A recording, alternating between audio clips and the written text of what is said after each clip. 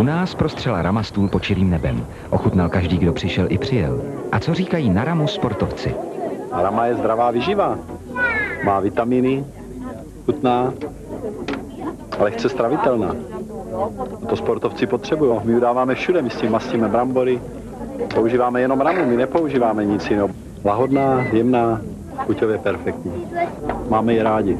Jedině rama. Rama na každém stole doma.